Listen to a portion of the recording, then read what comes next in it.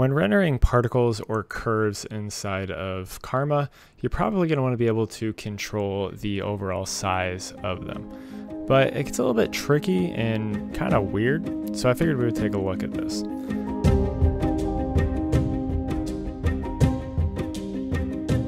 So I just have a quick scene set up here, just some particles in here with uh, material library, dome light, camera, and our render settings.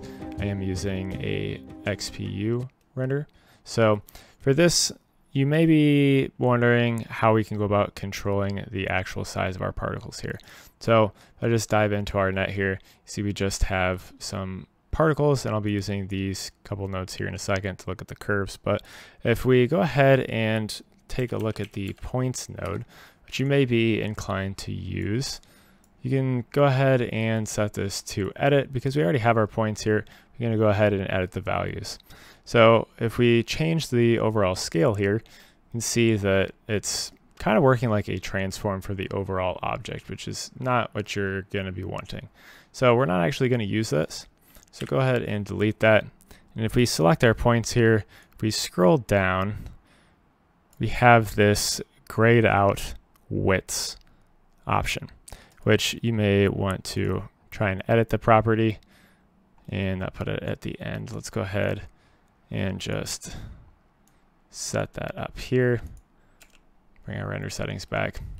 And this just kind of messes with everything and it doesn't exactly work right. So if we restart our render, you can see that it doesn't really work. So we're not going to want to use that either, at least not for our points.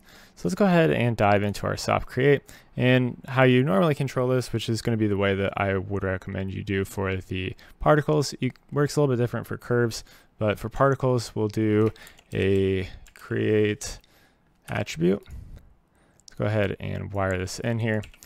And we'll call this p-scale because Karma can read this. And we'll go ahead and set this to 1. And once we have this, you'd see that it is now affecting the size of our particles. So we can come back in here. Obviously, that is too big of a value. So let's set this down to like 0.01. And see our particles are a lot smaller now. That may be a little bit too small. Let's set this to like oh, know, 0.1. See what that gives us. That's not too bad maybe a little bit big still, but if we take a look down here, so it's still a little bit weird. So we can select our widths here, which is effectively our p-scale. You see that it is going to be 0.2. And if I go ahead, set this down from 0.1 to, to 0.05, come back up here, you see that it is now 0.1.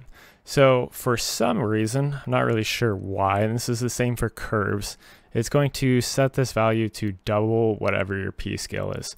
Don't ask me why, no idea. But just keep that in mind when you're creating your values. May have to lower them a little bit to get what you're looking for. But if we want to look at our curves, let's go ahead and just use this. We'll go back up to without the p scale on here. You know, again, this is just way too big. So let's go ahead, come in here, and I'm going to wire this back into our p-scale. And let's set this down to like 0 0.01. That should be a decent value for the curves. And you can see that it's now affecting it like we would expect. And we can come in here and we take a look at our widths again. And again, they're going to be double whatever we have for our p-scale. Now, if we have our curves being used, we can actually right click and edit this property and it's going to work appropriately. So if we set this to 0.04, they're going to double in size.